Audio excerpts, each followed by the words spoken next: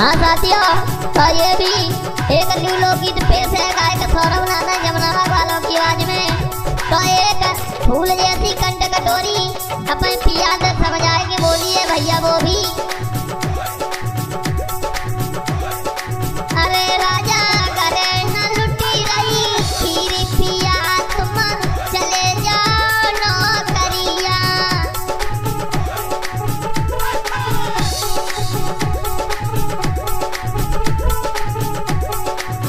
Ottawa.